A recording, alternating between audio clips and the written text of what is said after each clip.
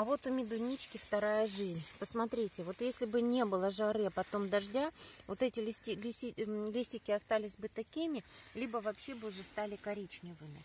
Но прошелся дождь, и посмотрите, она просто оживает она становится вновь юной весенней девчоночкой. Вот эти сочные листики можно класть в салаты, супы. Они богаты микроэлементами и йодом. А подробнее о том, как можно ее применять в домашних условиях, я расскажу в рубрике «Домашняя птичка» в цикле передач «Домашняя аптечка».